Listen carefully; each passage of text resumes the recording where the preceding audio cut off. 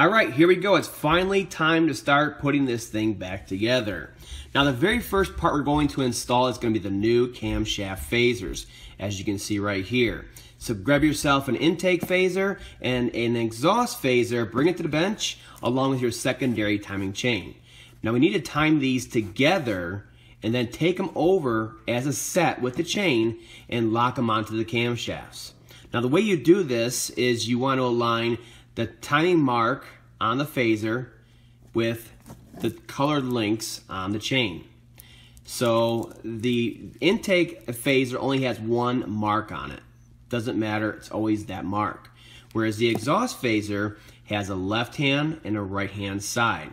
So we're working on the passenger side right now, so we're gonna go after the R mark on here. If you didn't know it already, the left hand always refers to the driver's side, and the right hand always refers to the passenger side in the automotive industry. So let's do it. So we're going to install the chain onto the intake phaser first. We get it lined up on there and locked in the groove, and then we'll wrap the chain around. Just like so. Okay, you see that right there? And then we're to find the R, since we're working in the passenger side, and we're simply to line up the next colored link on here with the R. Get it in the slot, and again, wrap it around. We'll do a post check real quick. We're lined up. We're lined up. You can see it right there. And then we're to take this whole thing over to the vehicle.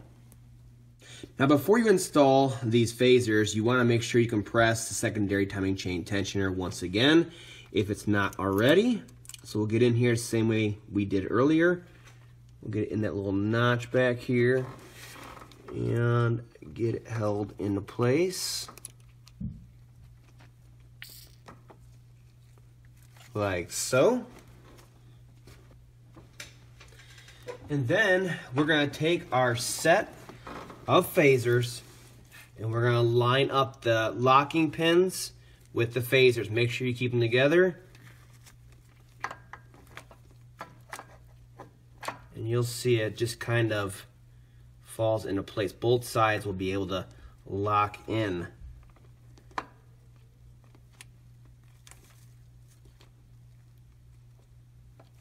Let's see where your mark is at on there.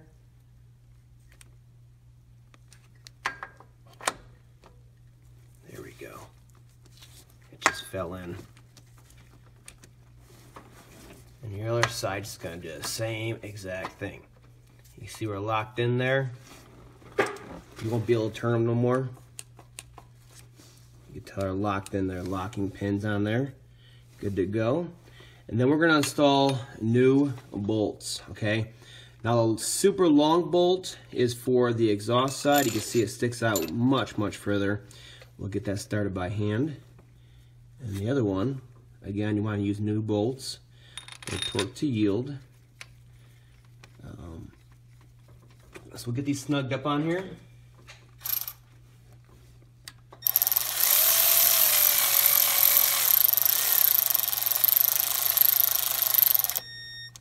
Hold it in place.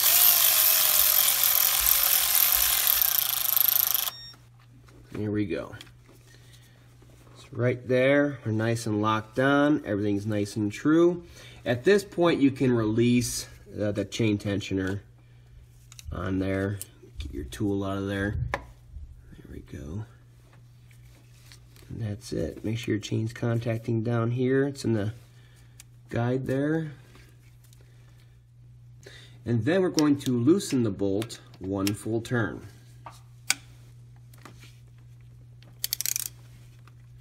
Or until it's loose enough to spin by hand. Yep. Same thing for the intake. Get it loose. We just use that 30 foot-pounds to initially set the phasers in place. Now we're going to snug these by hand real quick. Next, we are going to torque each one of these to 18 foot-pounds.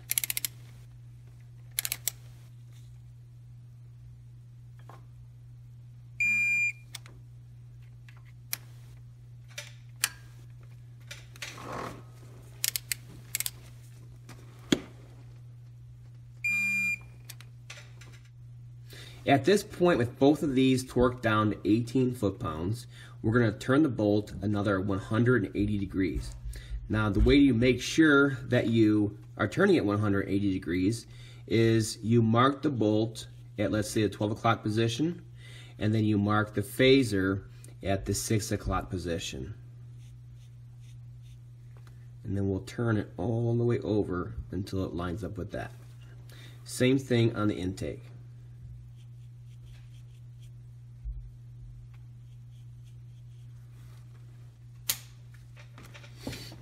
Here we go. Now this is going to be another one of those times where that um, tool, the locking tool, may shift on you. So you want to hold it in place.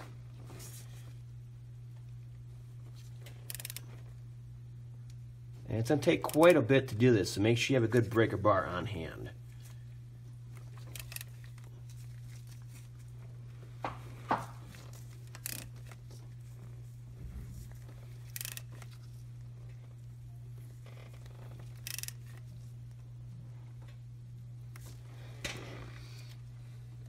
Take it off and check it. We're pretty darn close. You know me. I like to go a little bit more just to make sure in case our marks are off just a little bit. And right about there, you'll feel it. All of a sudden, the bolt gets really tight out of nowhere. Um, when your marks line up, you'll notice it. Same thing over here. With this one being an even shorter bolt, it's just going to make it that much harder because there's not as much stretch to it. Um, but same thing applies, 180 degrees.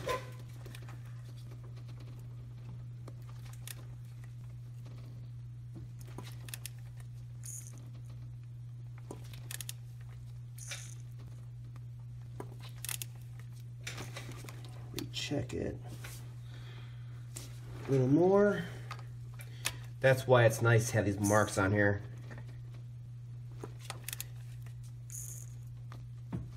Make sure we do it right. All right, we're pretty darn close. I'll give a little bit more. All right, we're good to go there, and we're good to go there. Now this side, right now, is set. The phasers are installed. Do the same exact procedure on the other bank. Okay, so with both phasers on both banks installed, torqued down, tensioners released, all that good stuff, we can actually start timing the engine. This right here is just an idler gear, and our crankshaft sprocket is already in position from before when we took all this apart. So I can't show you the exact procedure because it's just too hard of an angle here. What I will do is show you the basic procedure and then we'll go through with the camera around and show you in detail how it should look.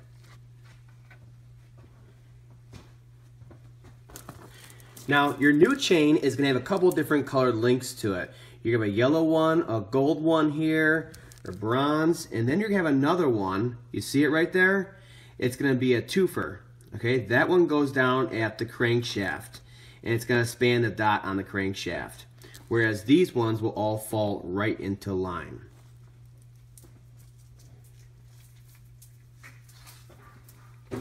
Okay, so it's one big old freaking chain. And what you want to do is find the side that has the two links on it right there. You're going to let that dangle down by the crankshaft down here. And we're going to take the next link up, which is the gold one, and we're going to put it right onto this phaser on the driver's side. Now remember, you have to you know snake this chain through here and all the other good stuff just to get it past. And then we're to lay it onto here, right onto that dot on this phaser. And that'll start us, that'll be our starting point for the whole procedure on here So get this down, just lay it all the way around, okay? Now before you go any further, you want to do the same thing. You want to snake it past on this side um, so we can get past while it's still flexible, you know, semi-flexible. And uh, we can twist it and get it past there.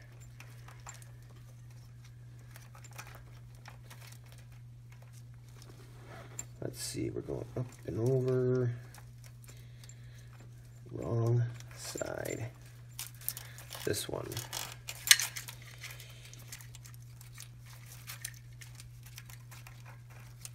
All right, there we go. So we'll take this side, we'll bring it down, pull it tight, bring it around the idler down here. We'll give some slack. It's a little cumbersome, you know, working with one huge chain like this. It's just gonna get caught on everything like this. Um, the idea here, though, is to just give yourself as much slack as possible. Okay? Okay, there we go. Now we're gonna pull it tight, coming down here, and we're gonna line up with one of these teeth on here, just to get spline with idler here. Okay, looks good to go right here is not. So we need to get it in this guide. We need to tuck it into there. Tuck it, tuck it, tuck it, tuck it. Get our slack. Okay, we're good to go. Pulling it tight, pulling it tight. Make sure it's splining all the way around. And then we're to come up to the passenger side phaser. Keep pulling it tight. And you'll notice, boom, dots right there, marks right there. It all just kind of falls into place. That's what's great about the Color Link system. So we're good to go here. This is good to go. We'll bring it around. Now over here, we're gonna install the other guide, okay? But first, you wanna drop your chain down and around that sprocket down there for the crankshaft.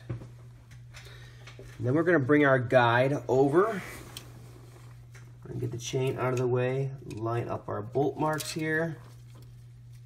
The long bolt goes in the bottom. Sneak this behind. Uh, get it in here. Your chain in front of it. You can see it's a huge, huge mess doing this. There we go get our bolts started by hand. Make sure they're okay.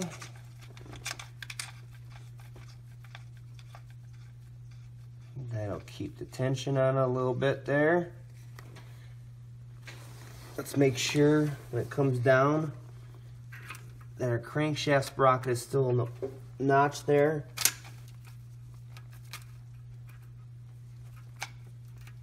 There we go.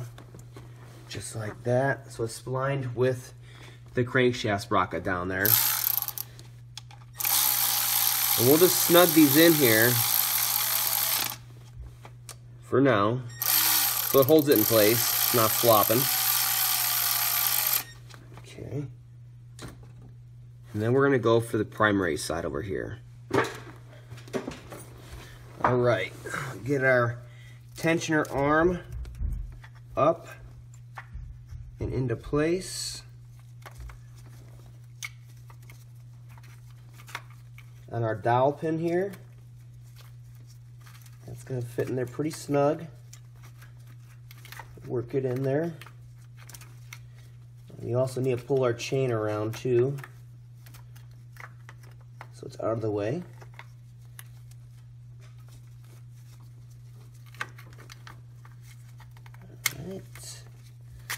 There we go.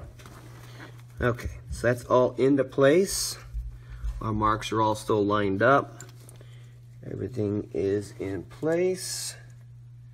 Good to go.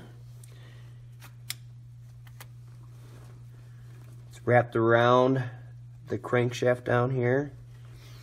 And now we're going to install our tensioner, our new tensioner. Tilt you down a little bit there, see what's going on. Okay, so we'll get our tensioner down in here, our brand new tensioner. Get it behind. Get your top bolt in so it holds it in place for us couple threads by hand, make sure it feels good. And then we'll get the bottom bolt in place, and that'll keep some tension against this, um, this tensioner arm, okay? There we go.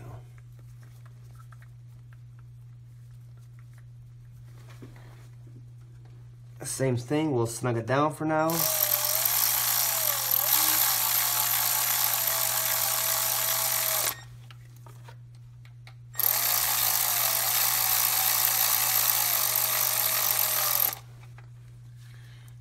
Now, with your tensioner arm, your guide, your chain, everything's in place. It's coming around the sprocket down here. Before you pull the grenade pin, you want to make sure you go around and you, all your marks are good to go still, okay? Make sure they're all good to go and we can pull that pin. All right, the engine is timed. Now let's go over it in detail so you can check yours and make sure it looks exactly like mine. So we'll start over on the left-hand head here. You can see the upper mark right there. It's all lined up. It comes down and around past the guide here. Follow it down, down, down. You can see how it spans the crankshaft timing mark. Come over, and around up past the tensioner arm here. The tensioner is in the pocket right there. Okay. Come up, come up, up, up, up. Come up and around. That one lines up. And then of course it just goes down splines with the idler gear. On through. And that's how it should look when it's timed. Now the last thing we need to do is torque down um, this side's guide, the, the two bolts on there, and then we're going to release that pin. All right, torque spec on these guide bolts here and here, and the tensioner bolts is 89 inch pounds. Torque those down, and then we can pull this sucker and let it come on out. Now there's not much tension but it's a ratcheting design. So it does work very, very, very well. Good to go. I like to do a post check real quick of everything. Make sure it's still good to go before I start buttoning things up.